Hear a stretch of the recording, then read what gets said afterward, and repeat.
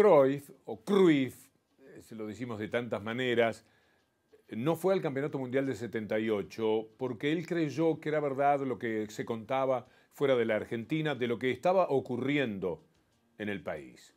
Otros holandeses fueron y les tocó ser víctimas de algo armado por el periodismo favorable a la dictadura, una carta de Kroll. Eh, es increíble que haya sucedido, pero Kroll supuestamente le contaba a su familia la maravilla que era la Argentina, y esto fue escrito de puño y letra, puede decirse, por un periodista de la Argentina.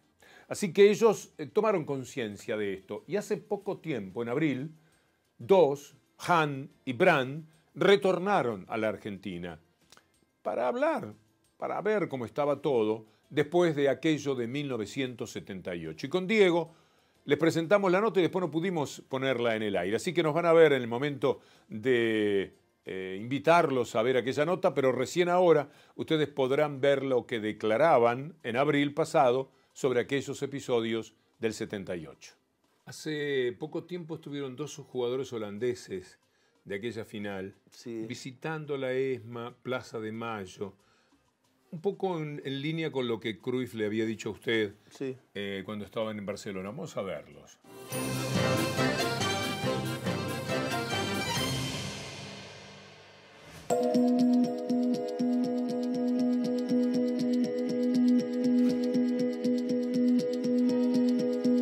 Uh, in this in this time, uh, we knew about the dictator. Uh, we knew something about people who were not. este hizo un gol de la mitad de la. Uh, this can be new, but not really. It, it was still a little bit uh, rumor. Is it or is it not? Before we went, uh, when we, we, flew from, from uh, Amsterdam, there were some people who were making a propaganda for, uh, you know, for Argentina. Who were really working, don't go. And they try everything to do that the Dutch national team did not go to Argentina because of all the problems and uh, the rumors, for us still rumors, who were there. And uh, at the end, that's what I said, because our politic, especially our ambassador here in uh, Buenos Aires, uh, said, no, it's, it's fine, it's nothing. But I was at that time 21 years, so my, the first thing I uh, I was thinking was to play a World Cup. For instance, in Mendoza, we were shopping. Everybody got two, uh, two uh, militaries uh, for protection. When you see now, today, after 40 years, that I'm here back, and I was in the, in the ESMA, and we were on the plaza, uh, what you hear, what you saw, then it's becoming a totally different dimension. Uh, and and we, of course, we have uh, the Queen in, in Holland. you know, she, she's from Argentina. And then there come some stories, and you know, the father of, uh, of our queen, he should know everything, but you know, everybody is, is, is, is, writing some things about that. So, but uh, when you get older and older, yeah, you read books and, and you know, see, see, you see some uh, pictures, you see yeah, a lot of things. And uh, I, I, I can still feel after this year that even a lot, I don't know everybody, but a lot of Argentinians have still a trauma from it. It's still, you feel the pain is still there.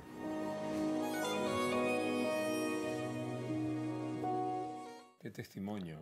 Hermoso, hermoso porque, porque están diciendo lo que realmente...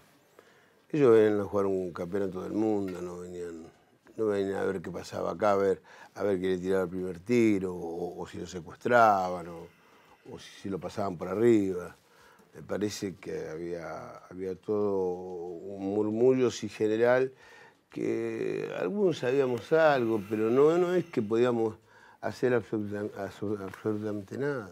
Bravo por el equipo de producción, ¿eh? Qué nota tan interesante, un Un Jugaron bien para la mano del 10. Jugaron excelente. Nos vamos a ir, amigos, con un saludo para la gente de Catamarca, Catamarca Radio y TV de la Argentina, Telepacífico de Cali y en México, Canal 44 de Guadalajara.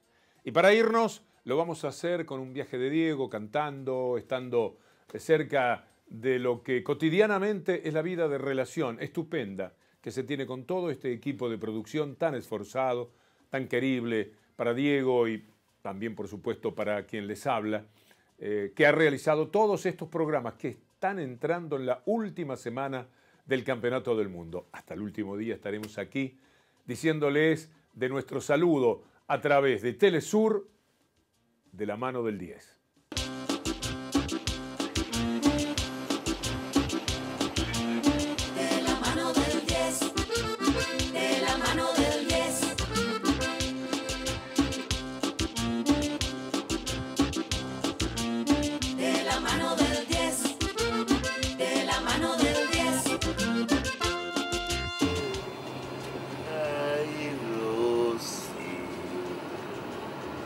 Siento muy bien.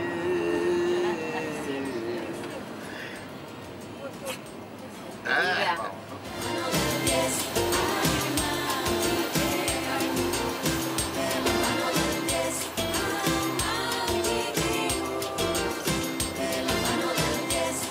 una, una serenata en vivo a Rocío en la camioneta. no, no. No, contento, contento porque vino, contento porque, porque ella eh, es futbolista como yo y le gusta el fútbol, le gusta sentir la pasión de- de- del hincha, de lo que se vive en el mundial, eh, pero ella no era nacida cuando Argentina se quedaba hasta los últimos, hasta los últimos partidos. Y toda la gente que, que la rodea, la abuela, todo. Eh, mis hermanas ni hablar, me cuentan cosas de lo que, de lo que hizo lo que hizo el Pelusa. Siempre de la mano del 10. En todos lados. ¿Cómo te ha parecido el programa?